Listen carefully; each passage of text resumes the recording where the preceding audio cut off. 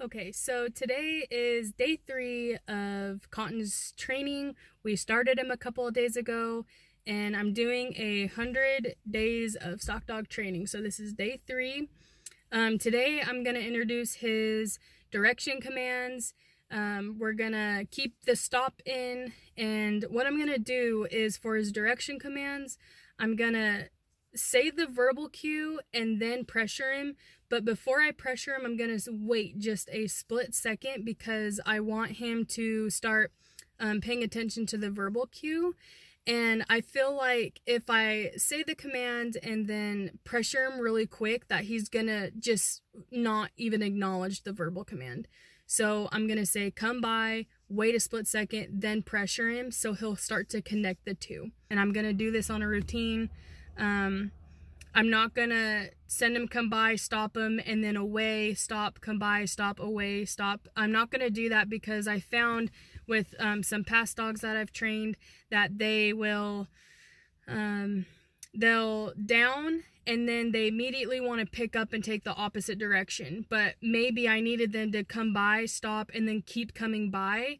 Um, but because of the way I drilled them, they'll come by, stop, and then immediately go away um, and vice versa. So nowadays I'm I'm keeping it fresh. I'm not constantly flip flopping. I'll send them on the same direction like three or four times, even after downing them three or four times. Um, I'm gonna throw in a couple stop commands still. Um, but I'm gonna check his sanctioning. Of course, before we go in, I want him to come in polite and I want to walk around the goat pen polite and respectful. So um, that's what we're going to check on today. Going to add the verbal direction commands, the stop, and then we should end the lesson. So I hope you enjoyed the first two videos. Um, you know, like and subscribe, like this video, like the page, um, all that kind of stuff. So let's get caught and let's get to training.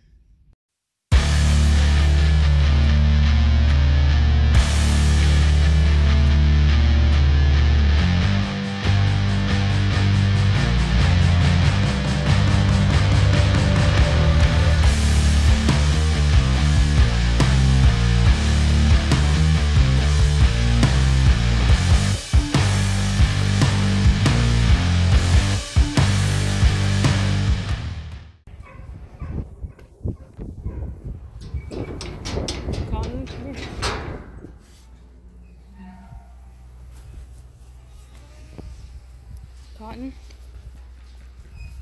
Come here.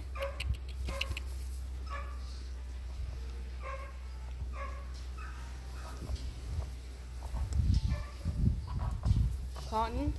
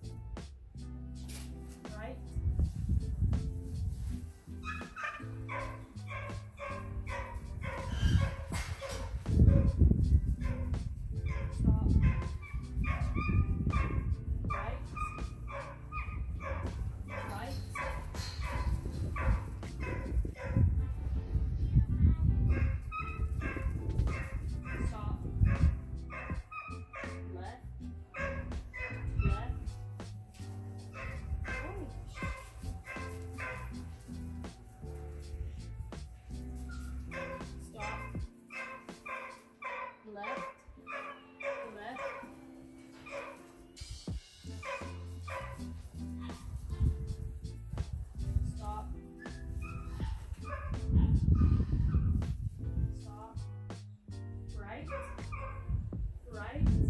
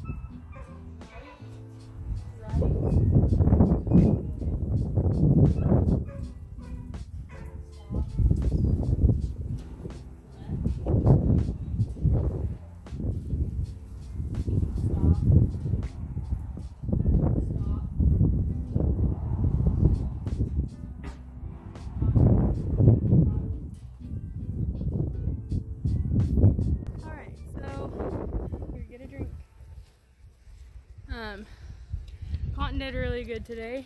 We introduced his directions and kind of went a little slow. Um, so I offered him to bite the goats um, just to kind of get him a little more jazzed up. But Starting to sniff the ground when he was getting tired, so I offered him to come in and bite, um, which he was being really respectful, and I know that I can get him to call off.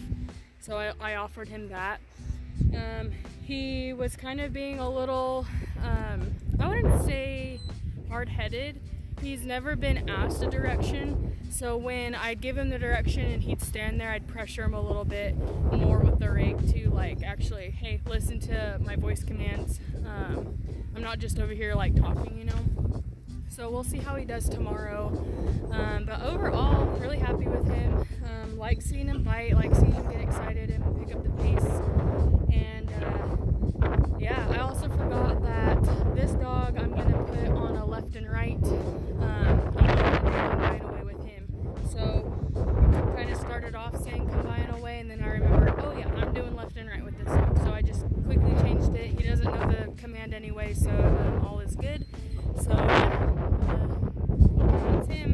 Good boy, Cotton. Cotton. Good boy. Yeah, so day three, another good day.